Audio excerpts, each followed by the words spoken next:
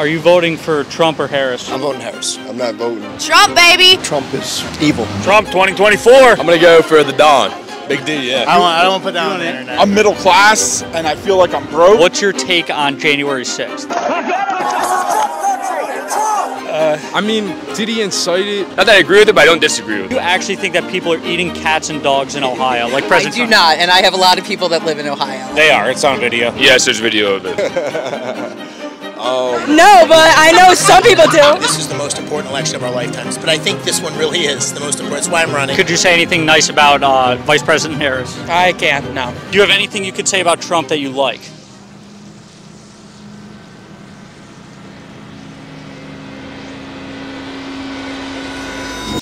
The presidential election is less than 30 days away, and I went to one of the most important swing states in the entire country. Pennsylvania, Pennsylvania, Pennsylvania. And what we see is a tightening race in the Commonwealth of Pennsylvania. And we're asking them, are you voting for Trump or Harris? Oh my God! Um, You know, Donald Trump is a singular threat to democracy. A racist, abusive coward who could permanently damage the fabric of our society. There are a lot of my peers putting out videos trying to brainwash the American people to do the most dangerous vote ever Kamala Harris and Tim Walz. Are you voting for Trump or Harris? Uh, I'm voting for Trump. I'm voting Harris. Harris. Could you give me a reason why? no wars going on. Trump is evil. And, a uh, threat to democracy. Do you believe that people are eating cats and dogs in Ohio, like President Trump says? In Springfield, they're eating the dogs. The people that came in, they're eating the cats. Of course not. I mean, there was what the one story that uh, one did happen, but it wasn't somebody who had an immigrant background. Uh, Isn't one too many, though? Okay, but how the hell is a president going to stop that? It, it's a 50 50. I mean, you have a lot of people, you know, are crossing the border. It's it's hard to tell, you know, what they're what they're actually doing, what their intentions are. And could you say anything good about President Trump? No, Okay. not a thing. Can you say anything good about candidate Harris? I honestly can't. I, I, It's nice to meet you. Yeah, you as well. Thanks for your input, Mike. Mike. Good to meet you. And later in this video, I'll be interviewing people at a tailgate at Penn State, where I also got to interview a potential U.S. senator. What's your name, age, and occupation? Swag, uh, I'm an artist, I make music, and I'm 32. Who are you voting for, Trump or Harris? Um, I'm gonna be honest, I'm not voting. Voting for Trump. Uh, President Trump. Why? We're gonna be finished with college soon. It's gonna be like I'm gonna have to be paying off my college tuition. I think the best thing for this country is for Trump to be in office. I just feel like we need a, a younger president in the office. Trump's too old, and then Kamala Harris, I mean, I don't know too much on her, but I don't think that she's it either for real. What do you think about January 6th? January 6th, 2021 was the day thousands of Americans stormed the Capitol in support of former President Trump. I know that everyone here will soon be marching over to the Capitol building to peacefully and patriotically make your voices heard. which occurred as Congress was in the process of certifying the Electoral College, which would confirm a now President Joe Biden victory. You have to go home now.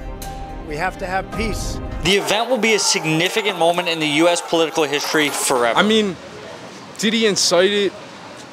I don't know. It, it's like it's a tough thing. It's like people can take words any way. Like it goes anyway. It's like I don't think he necessarily incited anything, but do you actually think that people are eating cats and dogs in Ohio, like President I do Trump? not, and I have a lot of people that live in Ohio. I, I shouldn't say, well, there is a person I think that happened, but I don't believe that part of it, and I still am going to vote for President Trump.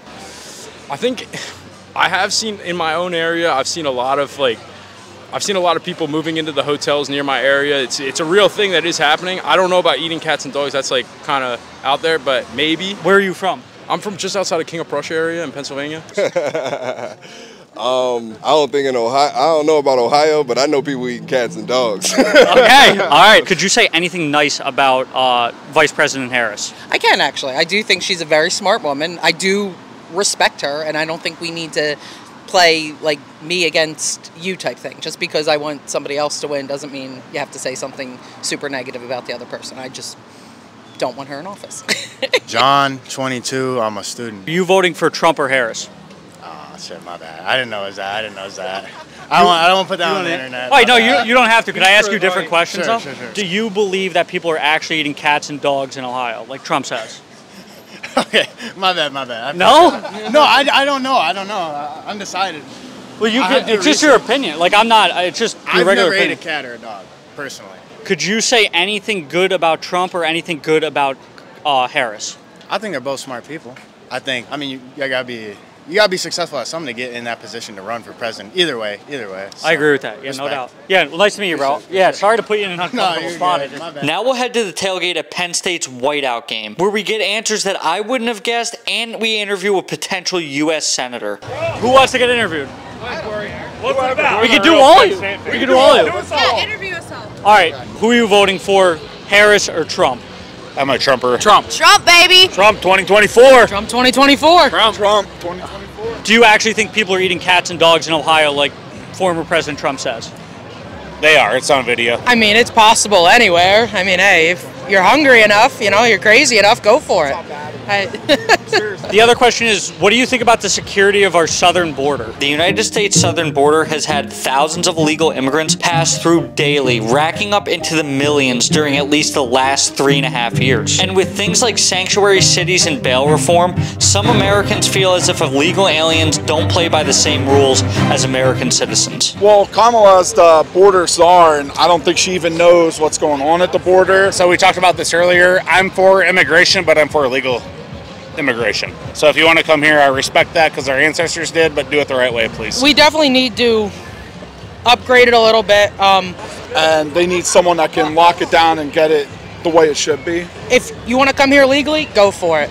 But you know, we're all U.S. citizens, and we all have all the proper documentation and identification.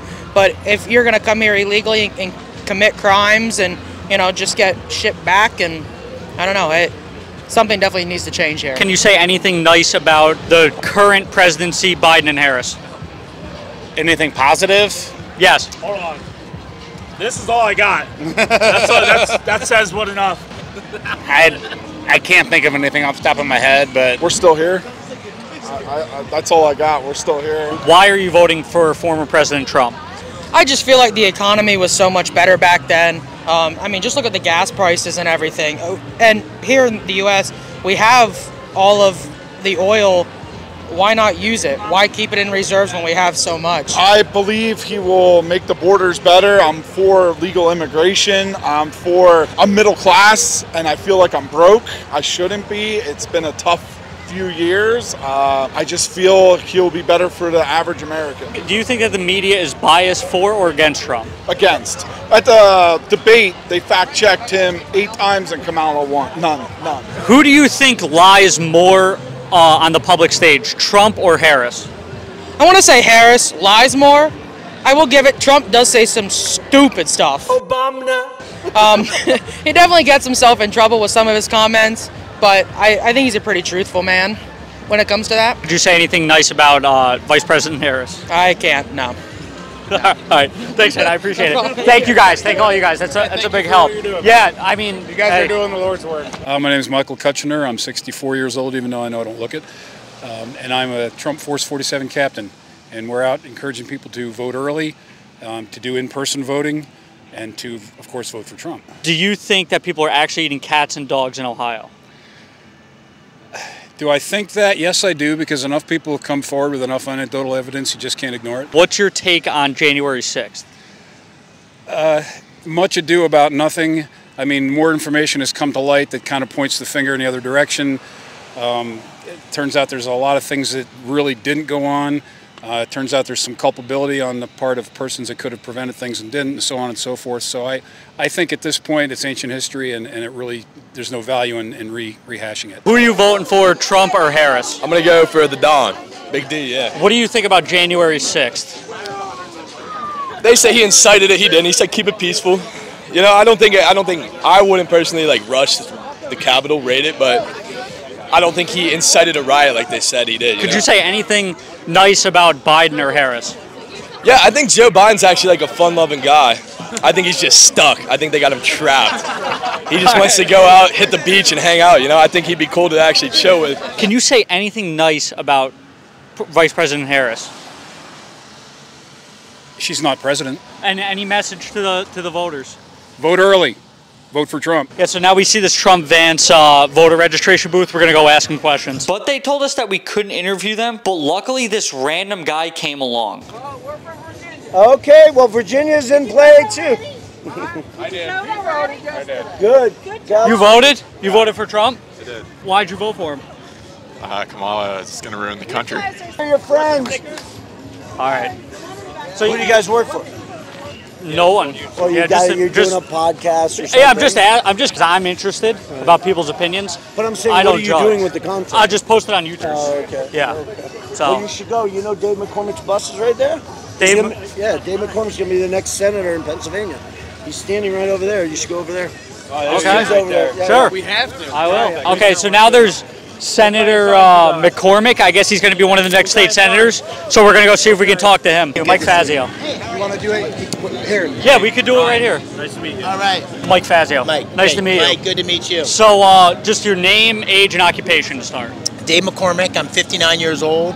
I'm the uh, Republican nominee for the U.S. Senate here in Pennsylvania. Awesome. So, my first question to you is: Do you support the top of the ticket, Donald Trump? I do. Yeah, I think uh, President Trump's policies are what we need to take our country in the right direction. The contrast between Kamala Harris could not be more clear. It's a radical liberal agenda that's destroying our economy, securing our security with these wide open borders, the lack of law and order, and uh, we need common sense policies and strength. And that's what he'll bring to the ticket, and that's what I'll bring to the ticket against Bob Casey, who's a career politician, uh, a guy that's been in office for 30 years, too weak and too liberal to really be in line with Pennsylvania. What are your thoughts on the majority of House Democrats voting against the SAVE Act? The SAVE Act was a bill that was put before Congress that requires individuals to provide documentary proof of U.S. citizenship in order to register to vote in federal elections, where 198 Democrats voted against passing this bill. Listen, I think it's disgraceful. You, you know, you, the, the most important responsibility you have as a citizen is to vote. It is the one blessing that each one is bestowed upon us. And we have a lot of questions about the integrity of our elections. People are losing confidence. And the single thing that could fix that is voter ID. And requiring um, uh, citizens, they, it requires uh, an ID to get on an airplane, it requires an ID to buy a gun, it requires an ID to lots of things. We need to have people uh, that, uh, citizens that have voter ID to be able to come and vote. And that's a way to give uh, confidence to our citizens. It's a way to ensure that there's not fraud in our elections. It's a basic idea, and the fact that the Democratic Party opposes it, I think, is evidence of the fact that they don't really want fair elections. What do you have to say to voters? Well, listen, this, you know, people since I can remember, I'm 59, have been saying this is the most important election of our lifetimes. But I think this one really is the most important. That's why I'm running. We have a really stark contrast between common sense policies to fix our economy for working people, secure our borders, bring law and order, and have peace internationally because America is perceived as having strength and has strength. That's against a, a extreme radical liberal agenda that, that's destroying our, our borders, destroying our security, destroying our economy, and making the world's adversaries, the, the, the bad guys in the world, test us and challenge us. So the consequences for your generation of getting this right and getting common sense leadership back in place couldn't be bigger. And so, for all of you that are listening, I hope you'll engage. I hope you'll vote. I obviously hope you'll vote for me. Um, I hope you'll study the choices. But if, even if you're not going to vote for me, I hope you'll vote because this is a moment where we all want to look back and say, we we consciously made decisions to get our country back on track. Uh, I'm running as someone who's going to bring about change, bring about leadership. Uh, I'm, I'm running against someone who's been uh, part of the status quo. I think this is a change election where we need strength and leadership, and, and that's what I hope I'll bring. Awesome. Thank you very much. Appreciate it. Good luck in your race. I appreciate it. Yeah, thanks. Thanks, guys. Yeah, awesome. Good luck, guys. All right, so that's uh that was a pretty good interview. Now that we were deep into the tailgate, I wanted to get a couple more answers from young voters to finish off the day. I'm so ready. What's it for? Yeah, what is this for? Can I just ask? They're not like bad questions. Can I just ask them instead? Of course. I- All right. yeah, sure. All right. So, uh, are you voting for Trump or Harris? Oh my god, um, so, um, ooh, that's crazy. Uh, como se dice, uh, uh, so, All right, is you don't have to. If you don't want to tell me who you're voting for, that's fine. Can I ask you other questions? Of course. Do you think that Trump is actually taking away your rights if he becomes president as a female? um, as a, as a gay female, as a lesbian Asian woman in this country, Yes. What are your thoughts as an American citizen on January 6th? Um, I think the Americans have a right to it. I'm not saying I uh, agree with it, but I think everybody has a right to protest what they want. So, not that I agree with it, but I don't disagree with it. So, do you actually think people are eating cats and dogs in Ohio? Um, uh, you know what? No, but I know some people do. So like I have no like full proof of it, but I have seen some clips of uh, you know people going around interviewing people in Springfield, Ohio. You know they're saying like yeah they're taking the geese down at our park, eating the dogs, eating the geese. You know so I wouldn't doubt it. I do hear there's a lot of immigrants there. You know so Do you think that people are actually eating cats and dogs in Ohio? Yes, there's video of it. Can you say anything good about uh, Vice President Harris? Um, I don't think so. I've I've kept up with a lot of politics, and I I just don't think I really have anything good to say.